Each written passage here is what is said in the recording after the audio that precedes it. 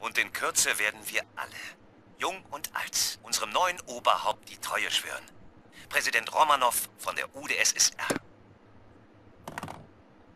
Commander! das war beeindruckend, was Sie da in Colorado vollbracht haben. Aber die Dinge haben sich geändert, während Sie im Kampf waren. Der Krieg ist vorbei. Wir haben inzwischen eine Tatsache erkannt. Die Kommunisten und wir verfolgen dasselbe Ziel. Ich frage mich, warum ich haben denke, wir das, das müssen wir uns so nicht weiter anhören. Offenbar stehen der Präsident und General Carville unter Einfluss des Psycholeuchtfeuers der Sowjets. Entwickelt wurde dieses Gedankenkontrollgerät von diesem Mann. Das ist Yuri.